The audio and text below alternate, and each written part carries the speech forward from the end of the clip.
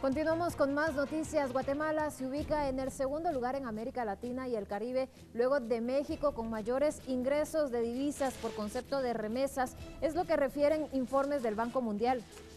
De acuerdo con el organismo financiero, el país recibió de enero al mes de noviembre de este año 5.686 millones de dólares debido a las transferencias realizadas por los residentes en el exterior, fundamentalmente en Estados Unidos. Este monto se acerca a la proyección estatal de recaudación tributaria para el cierre del 2015. Estadísticas oficiales dan cuenta de la existencia de 1,5 a 2 millones de migrantes guatemaltecos en Estados Unidos, considerado el principal socio comercial de nuestro país.